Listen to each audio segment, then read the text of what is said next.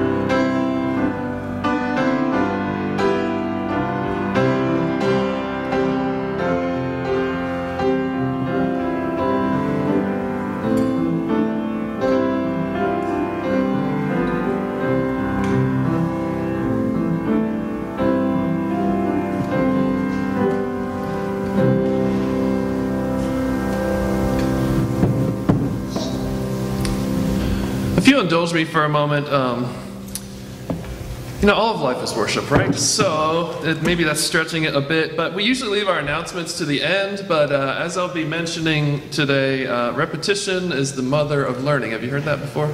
So um, I would like just to, to put forward before you, uh, I tried to write up quite a few announcements of just what's going on. Uh, I sent it out in an email, I called it Signs of Life. Um, just this is the things that are happening in our church life. Um, so, just to, to, point out a few things for you to, to think about, to pray about. Um, we'll repeat these at the end of our normal uh, announcement time, but a couple important things. Um, Missionary Alliance Church up on Crescent Street, if you just go up Silver, keep going, um, they have invited us to take part in their vacation Bible school. And so I will be playing a pretty major role in the, the teaching and uh, they need a few more volunteers. They, they have a, a pretty well run, a very well run program. But the, the leader, her husband has stage four cancer, so they're in a little bit of need of, of some help. So um, I have a list of volunteer needs. A lot of that is just uh, hanging out with the kids and making sure they don't run where they don't go, don't need to go, and things like that. I can't remember the official name for it. It's basically like chaperones and, and kind of the, the, the shepherds. Um, we need a few of those. Um, uh, we need, there will be a, a, nursery for volunteers. So we need one more person to staff that nursery for the volunteers. Um, if you're at all interested, in this will be the last week of uh, June. Ages 6 through 12 are welcome to come participate and it should be a great time. Um, our, our church here, from what I'm told, hasn't done a uh, a week long during the day vacation Bible school. It's uh, it's 8:30 to 12:30, by the way, I think. Um, and so it'll be great to kind of get those juices flowing for us. They're they're really just generous to let us come on board with their program. So I'm excited about that. Now that we've come through Easter, we can start focusing on the summer a little bit. So. Uh, I've got quite a few other announcements here. Please avail yourself of them. I won't take more time this morning here at this moment. But uh, God is doing good things among us and around us, and we are eager to join Him in it. So please be prayerful about how you can participate in some of these things. Please join me in the call to worship found in your bulletin from Psalm 91. He who dwells in the shelter of the Most High will abide in the shadow of the Almighty. I will say to the Lord, my refuge and my fortress, my God For he will deliver you from the snare of the fowler and from the deadly pestilence. He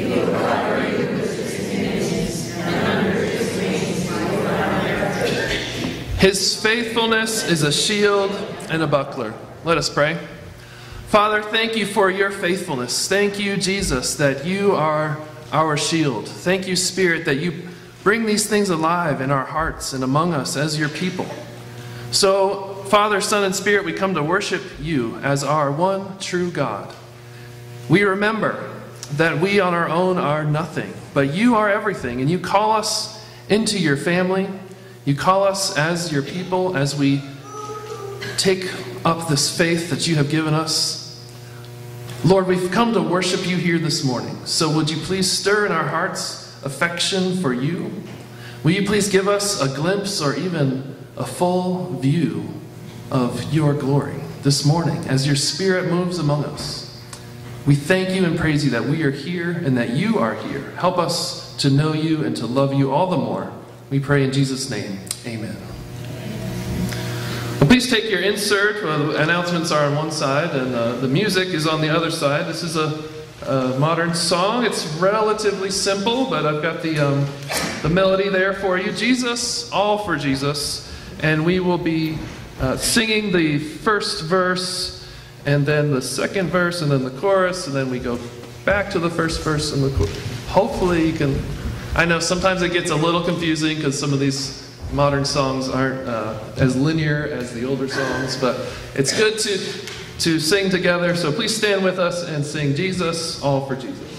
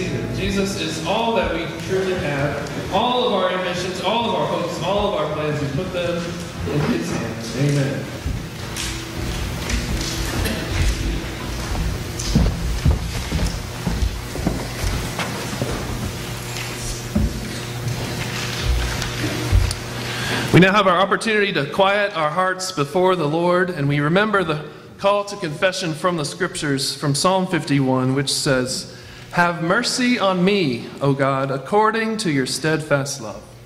According to your abundant mercy, blot out my transgressions.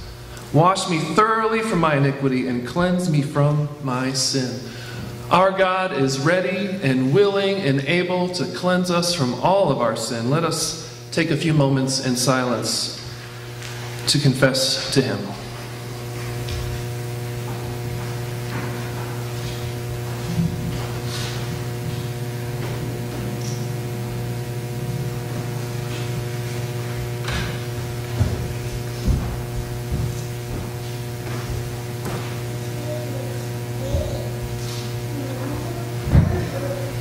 Thank you, God, that you are abundant in mercy and steadfast love.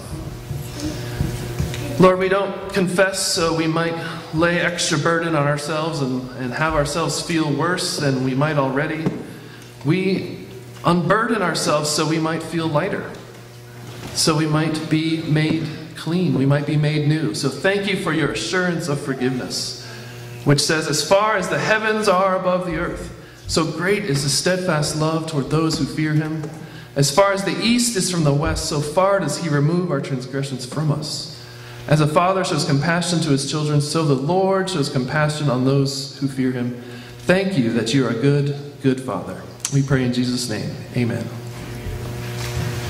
We come now to our scripture lesson, and it's from John chapter 21. Please open your scriptures as you may have them. And Michelle will be reading for us this morning, John 21, 1 through 14. We've, we've arrived at the last chapter of the Gospel of John, and this is a, a significant story as sort of the epilogue of the Gospel of John. Uh, so please, you can might be easier to read over here. I've given you an obstacle course over there. Um, so John 21, 1 through 14. Good morning. After this, Jesus revealed himself again to the disciples by the Sea of Tiberias, and he revealed himself in this way. Simon Peter, Thomas, called the twin, Nathanael of Cana in Galilee, the sons of Zebedee, and two others of his disciples were together. Simon Peter said to them, I'm going fishing. They said to him, We will go with you. They went out and got into the boat, but that night they caught nothing. Just as day was breaking, Jesus stood on the shore. Yet the disciples did not know that it was Jesus. Jesus said to them, Children, do you have any fish? They answered him, No. He said to them, Cast the net on the right side of the boat, and you will find some. So they cast it, and now they were not able to haul it in because of the quantity of fish.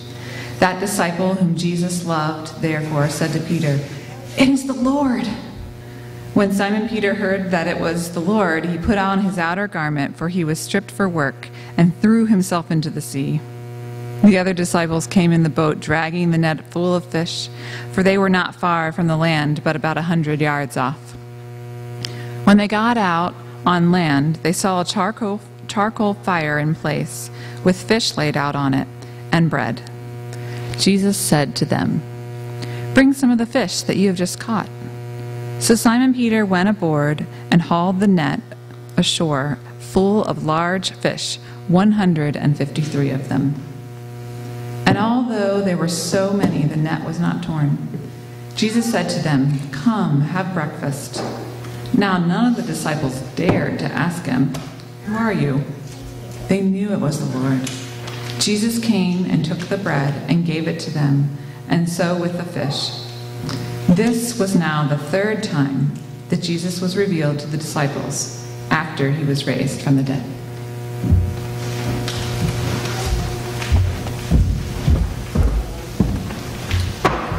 This is God's word. It is true, it is trustworthy, and it can transform our lives. So let us stand and respond in thanksgiving by singing the Gloria Patri together. The words are found in your bulletin.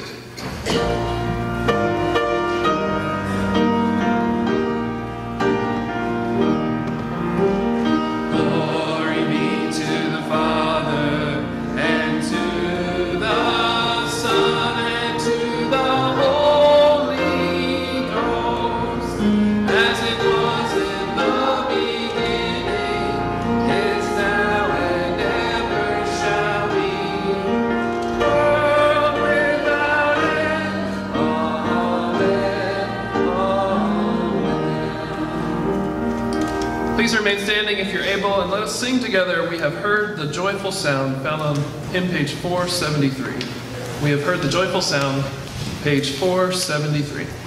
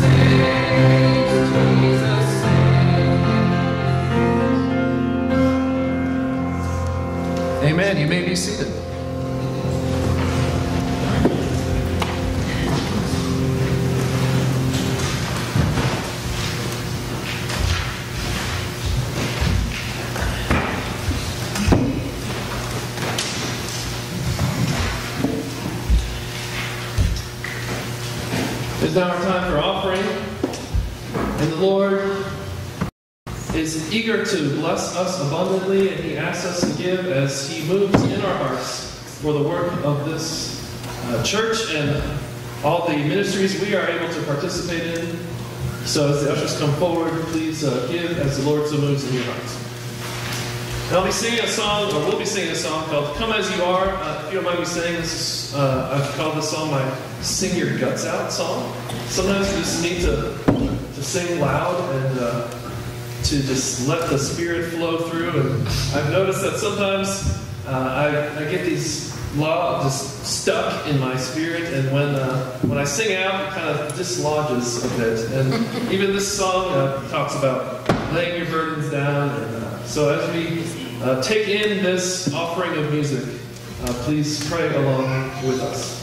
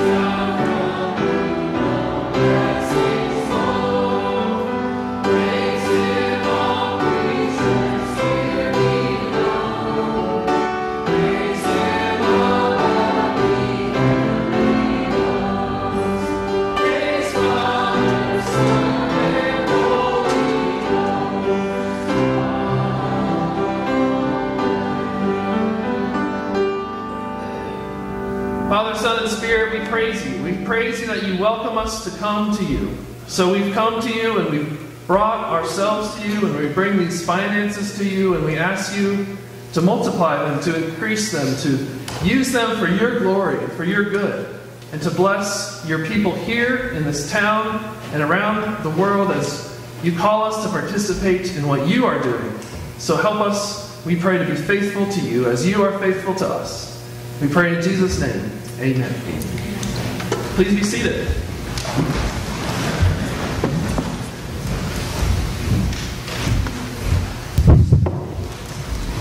And kids, please come on up. Come on up, kiddos. Now, most of our kids happen to be at Lake Bomoseen right now.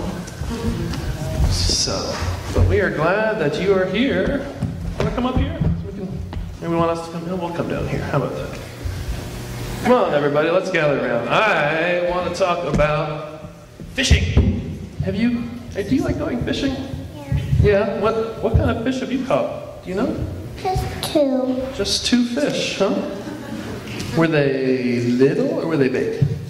And they were big. They were big. You, know, you must be a real fisherman because no fisherman would admit that they caught a little fish. I'm glad that you caught a big fish. Did you let it go or did you eat it for dinner? We fridge for tomorrow and eating it for dinner. Nice. I like eating fish for dinner too. So, so you caught that those fish to eat for dinner. Did you hear when Michelle was reading the Bible story today? Hey Jay, have you ever caught a? Do you like fishing too? No, you don't like fishing. You more of like a hunting guy or what? Karate, you're a karate guy, right? Can, can you like do karate moves on the fish? Would that work? No. Well, I like fishing. I grew up fishing. I, well, I mentioned our kids are at Lake Bomoseen right now, and I grew up fishing there. And uh, we used to catch. My dad is like an awesome fisherman. He could catch a fish out of like the puddle in our driveway. He's such a good fisherman. No, I'm just kidding. Um, so, G- Jesus, his friends, his disciples, his followers were fishermen. Some of them were. And so, but you know, did you hear the story when Michelle read? Do you think Jesus' friends were good fishermen or not so good fishermen? What do you, what do you think, Jay? Not so good. You're paying attention. I'm glad because have you noticed there's two big fishing stories in the Bible? Neither of them, the, the disciples catch anything until Jesus helps them. They're pre- and it was like their job. It was their whole job, and every, all the all the stories we have of them doing their job, they can't do anything. They can't catch a single little tiny minnow without Jesus helping them. Well, I'm hoping, I think they probably could catch some fish, but we don't hear about that. But what we do hear about is they tried their hardest. They tried all night long to catch a fish. How long did you try to catch the fish that you caught? Did you try to catch the fish all night long? No. No. Did it take you a long time to catch them or little? A, a little. A little. Well, you must be much better fishermen than Jesus' disciples because they were fishing all night long and they didn't catch one little thing. And then Jesus said, Hey, there's fish over there. And he brought them all the fish that they could ever want. So, to me, Jesus is trying to show them one thing we need him to do anything. I can't catch a fish. Well, I can't catch a. Well, actually, I haven't caught a fish in Bennington yet. I've lived here a year and a half, and I still haven't caught one little fish in Bennington. Huh, I know. Can you show me the good fishing spots? No? Oh, she's going to keep it a secret. You are a real fisherman. Well, maybe somebody will show me a good fishing spot. Because maybe I can catch a real fish on my own, but I can't do anything that will last forever on my own. I need Jesus to do anything and everything. And Jesus said, I'm making you guys fishers of people, and that is that'll that lasts forever. That's the most important thing in the world. So I want you to know, without Jesus, we can't do anything. But with Jesus, he gives us so much. He is such a good, good, generous Lord and Savior. So let's keep on following Him, and we know that He will do wonderful things. All right. Any other thoughts or questions that you have? Open mic here. This is dangerous. Yeah. They are getting, uh, I don't know, maybe tired. They were getting tired. Yeah, they were getting tired. You're right. But Jesus came and He provided for them amazingly. All right, that's my story for you today. Let me pray and then you can go to Sunday school. Dear Father in heaven, thank you that you sent Jesus because uh, we can't do this life on our own. We need you, we need Jesus. So help us to uh, remember that without you we can do nothing, but with you we can do all things. So help uh, each of these kids here and those that aren't with us today. Will you please uh, help us to follow you and would you please bless us more and more? In Jesus' name, amen. All right, kids, thanks for coming up. See you later.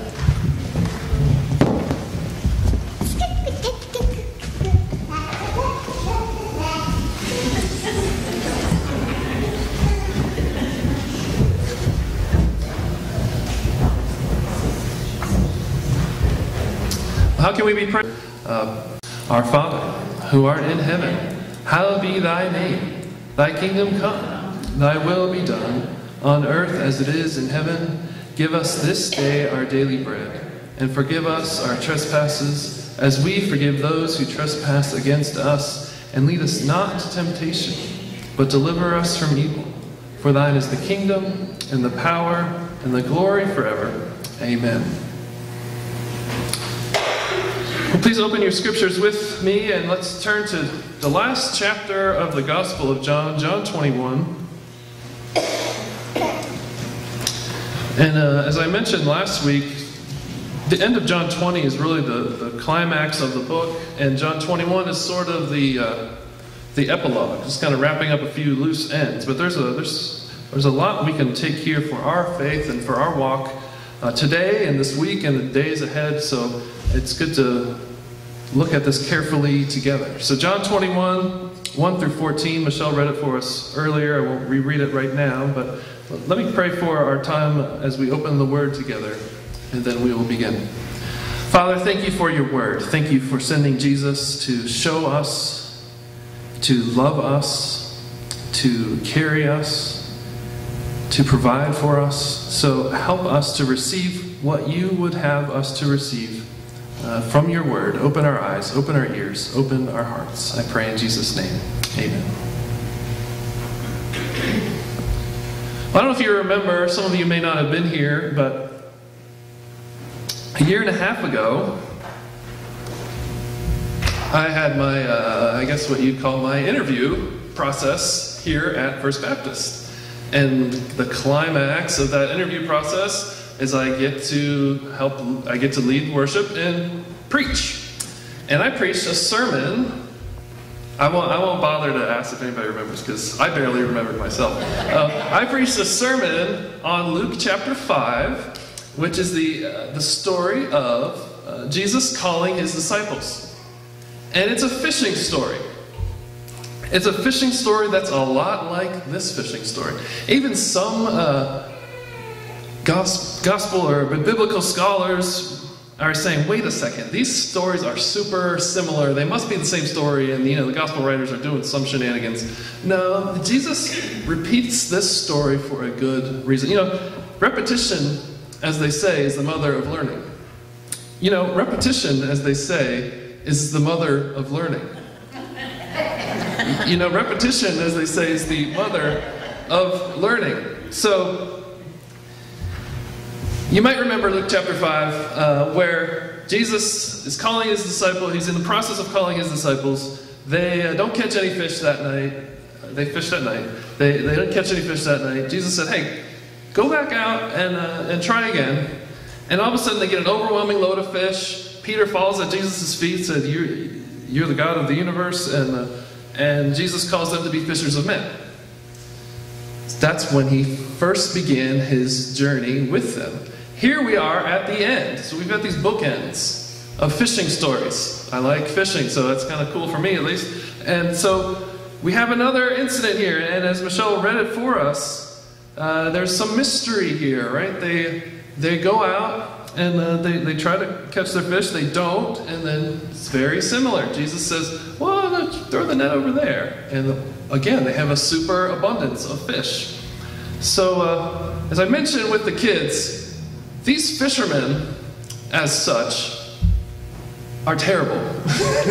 At least in the, the recorded scriptures that we have, we don't have them catching a single fish on their own before Jesus shows up. So, on their own, they get skunked. You familiar with that term, right? If you try to go fishing, you get nothing, you get skunked. On their own, they get skunked. And likewise, on our own, we get skunked. But with Jesus, uh, I searched a little bit for the alliteration here. With Jesus, we get scads. That's kind of an old phrase, right? A, a scads, a, scads is like a whole super abundance. And by the way, little fish nerd here thing, scad is a type of fish.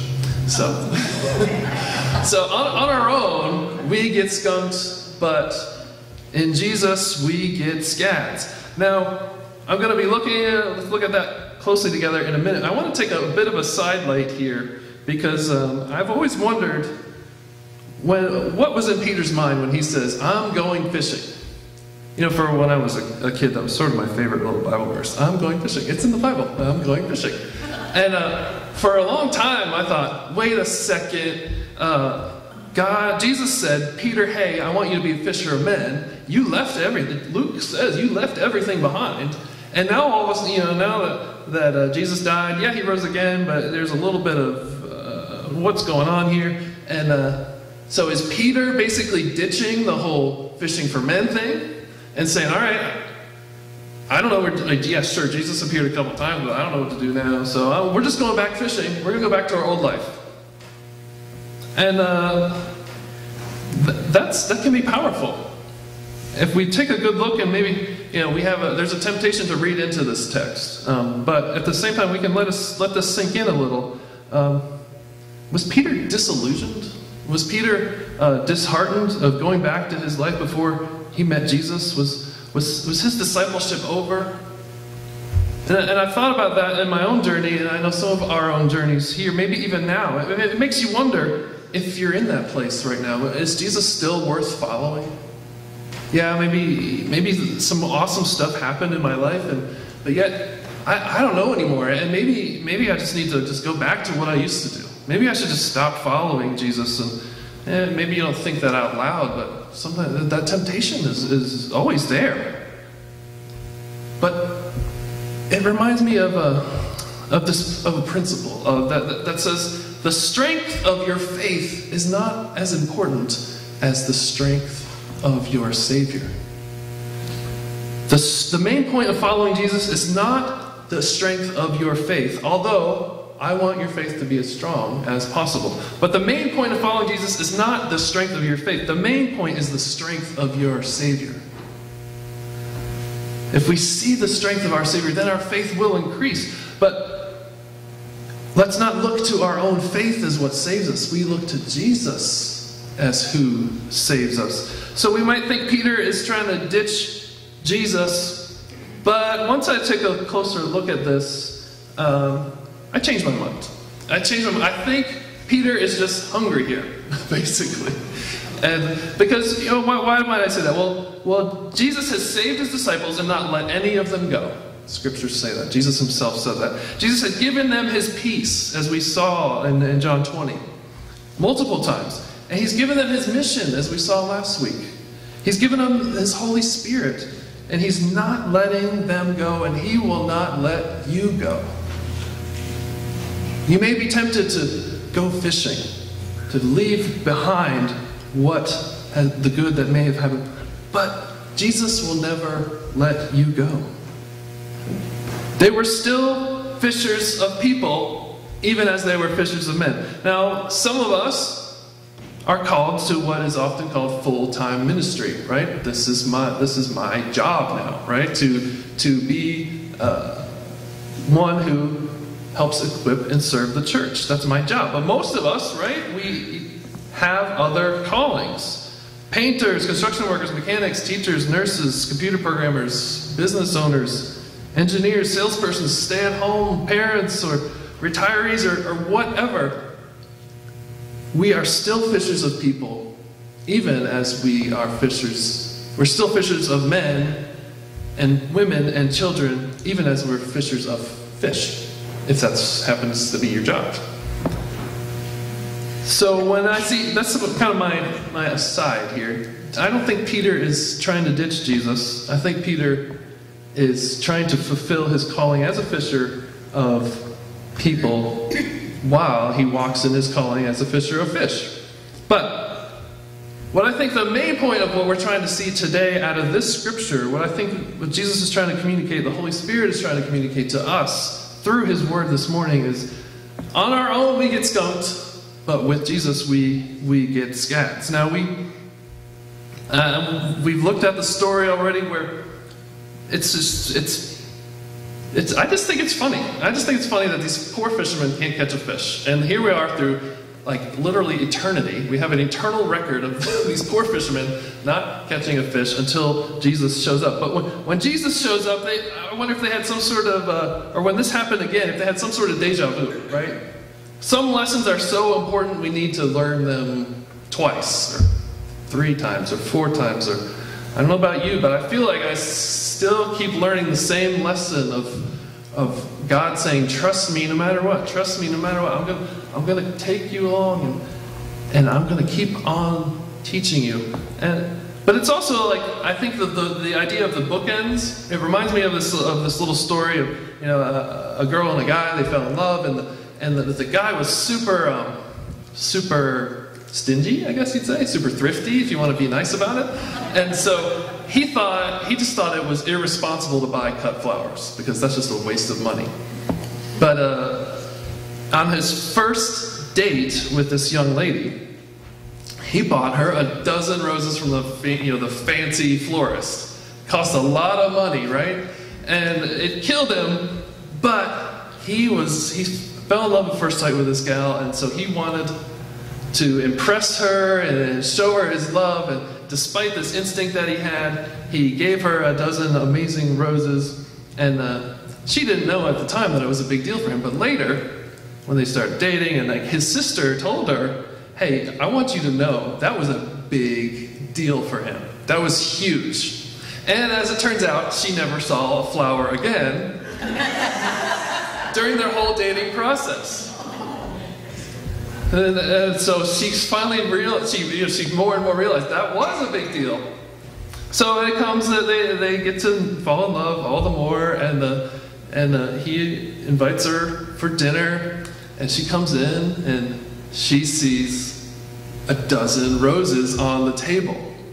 And she's like, and she knows in her heart, this is it. He's going to propose because he wouldn't have done this except for some hugely important thing, right?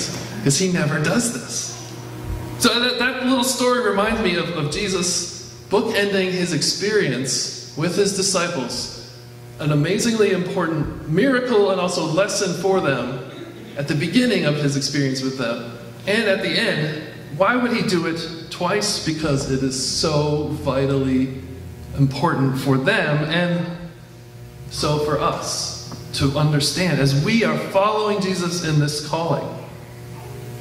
So, what happens in this story? We read the story, it's pretty simple, but he calls out to them, Hey, you got any fish? Nah. They don't even, they don't even know who he is yet. Because I, I, saw a film rendition of this, and like it says the sun was coming up, so maybe he was between them and the sun, and he can't really see anything, right? Uh, he gives them an opportunity to trust them. They don't even know who he is yet, but he said, uh, "Well, throw your, throw, cast your nets over there." And, and the other story, they complained to him. But this story, they're like, okay, maybe they think he's the local expert. They haven't been around for a couple years, three years or so, probably. Uh, so yeah, maybe this guy's a local expert. He happens to see, uh, you, know, you can sort of sort of see some fish from the shore if, if you if you're looking right. And like, okay, we'll just cast the net out there. And uh, they they listened to him even if they didn't really recognize him. Unexpectedly, miraculously, amazingly, unmistakably, this is Jesus at work. Now, I would like for us to put ourselves in that place. Jesus is calling out, "Hey, you all set? You good? You, you, everything's taken care of, right? You guys are you guys are just fine. Every, you okay? Jesus is calling out. And, and what would you say? Now, I'm not saying don't necessarily picture yourself in the boat. Picture yourself in your life, the boat of your life. Hey, you all set? You okay? Uh, are you going to say like them? No. It's probably a decent answer so a lot of the time, right? Admit when we come to Jesus, we have to admit our need.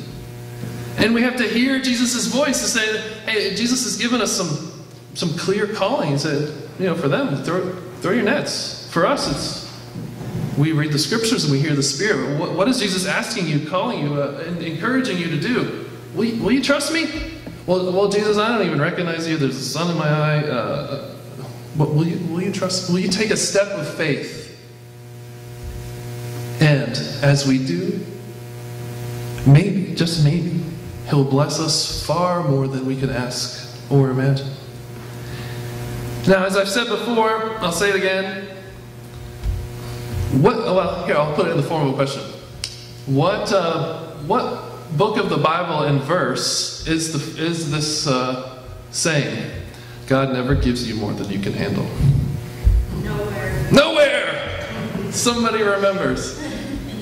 That is not in the Bible. I joke, you know, I make up joke Bible references. You know, Hesitations chapter 3, verse 6. You know, no, it's.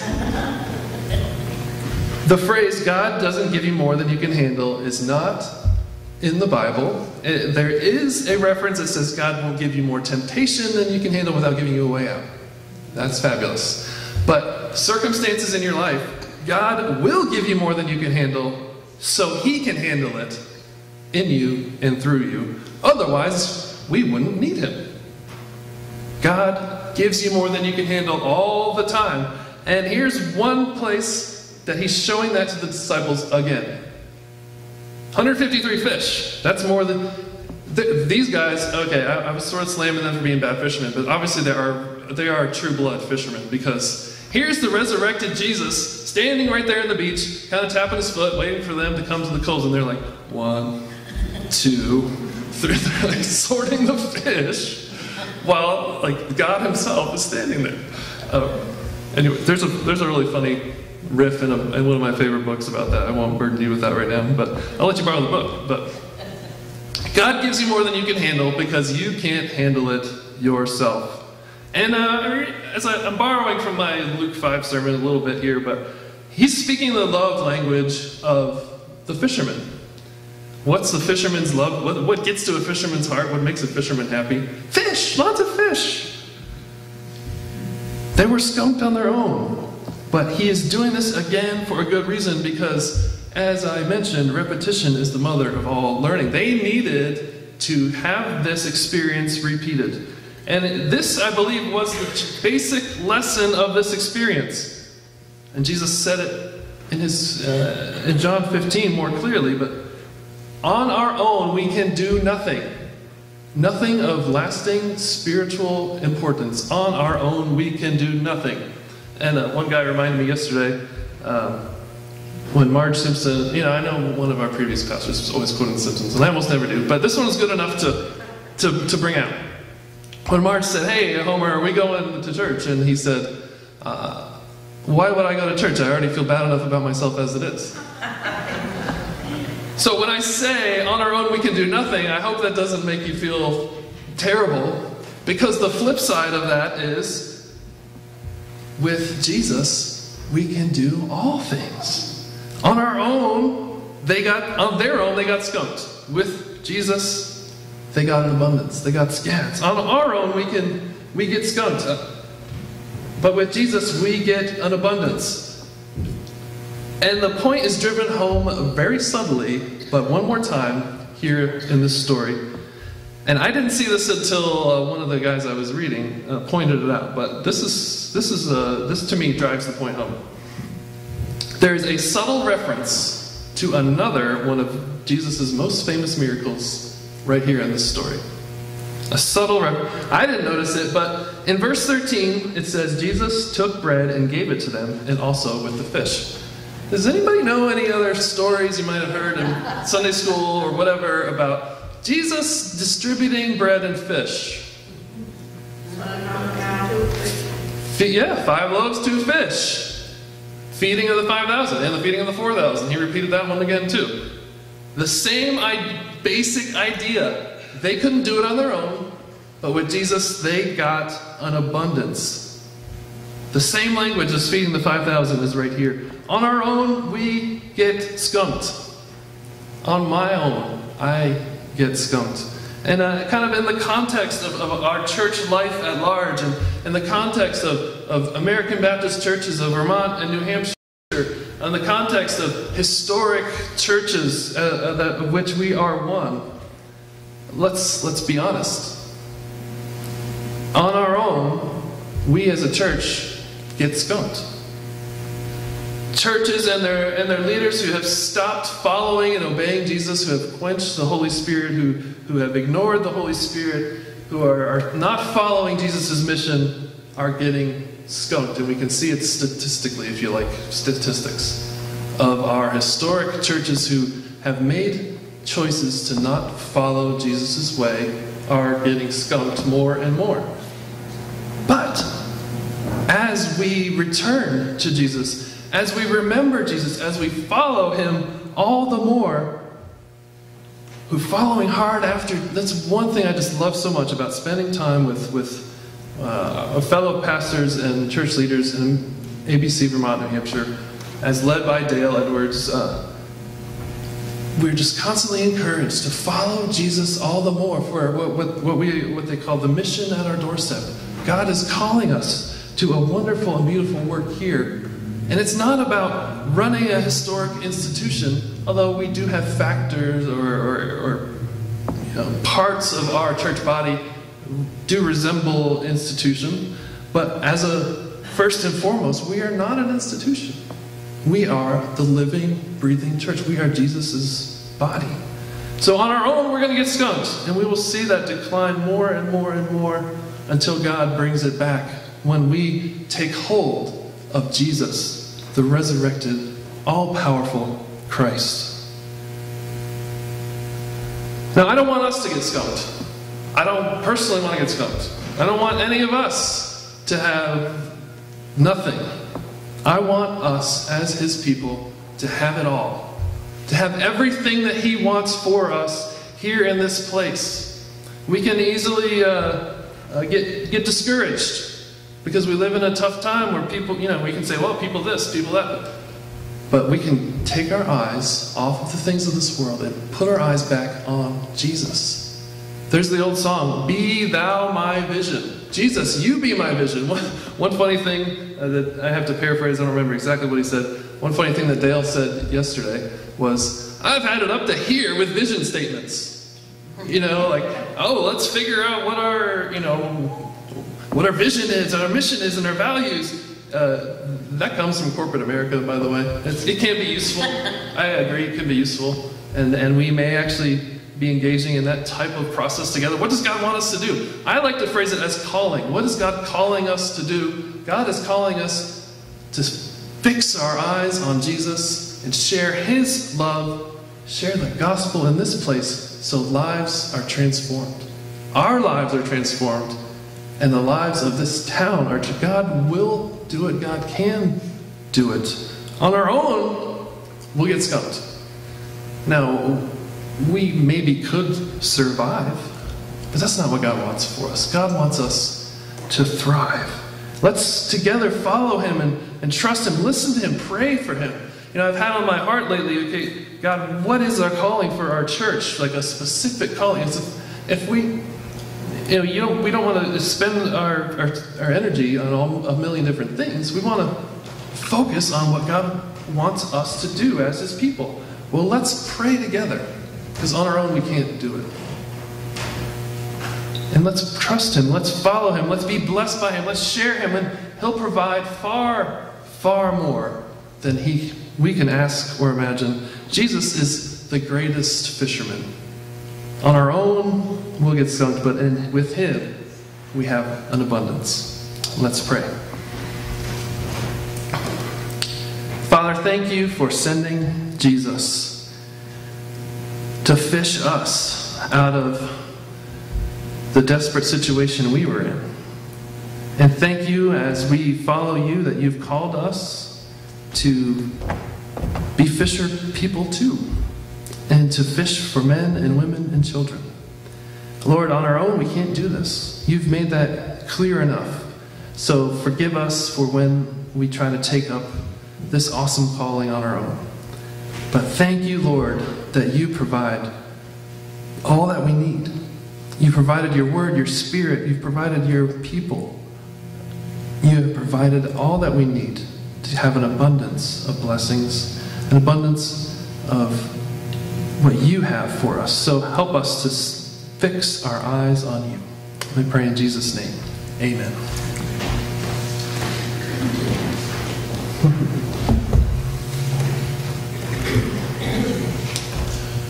Come now as our opportunity to take part in the Lord's Supper together. We remember that this is a remembrance, this is a sacrament, this is an, an ordinance, this is a something that we take part in regularly so we can be blessed by Jesus himself. It is a solemn occasion, yes. It is also a celebration. And we are thankful for it. So, will the Church Life Board members please come forward as we prepare to take the Lord's Supper together?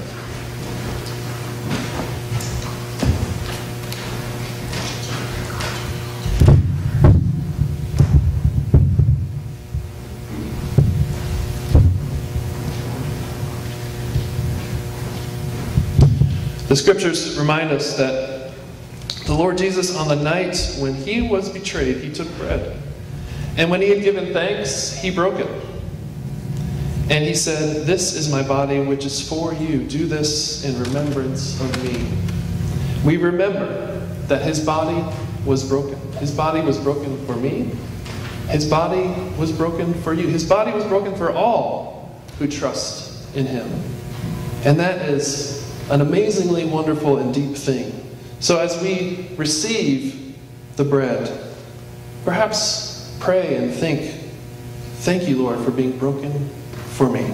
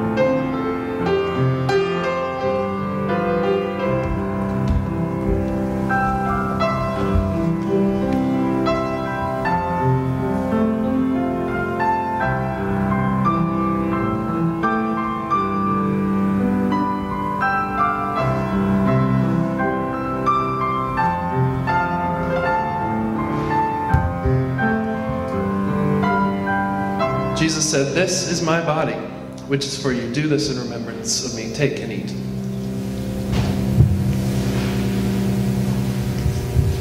Thank you, Lord, that your body was broken for us.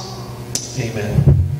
In the same way, also, Jesus took the cup after supper, saying, This cup is the new covenant in my blood. Do this as often as you drink it in remembrance of me. We remember that Jesus' blood was poured out for us, for all who will trust in him. And if you don't trust Jesus yet today, this honestly is not for you yet. It's for those who have received Jesus. But for those of us who have received Jesus, we remembered his life blood was poured out for us. So as we take it into ourselves, let us thank him and say, Lord, thank you for pouring your life into me. Amen.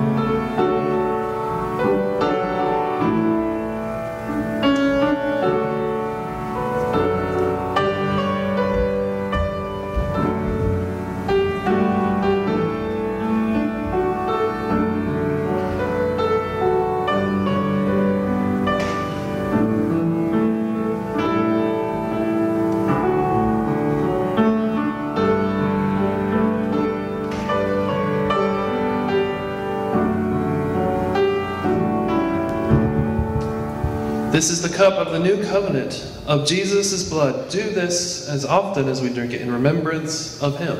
Take and drink.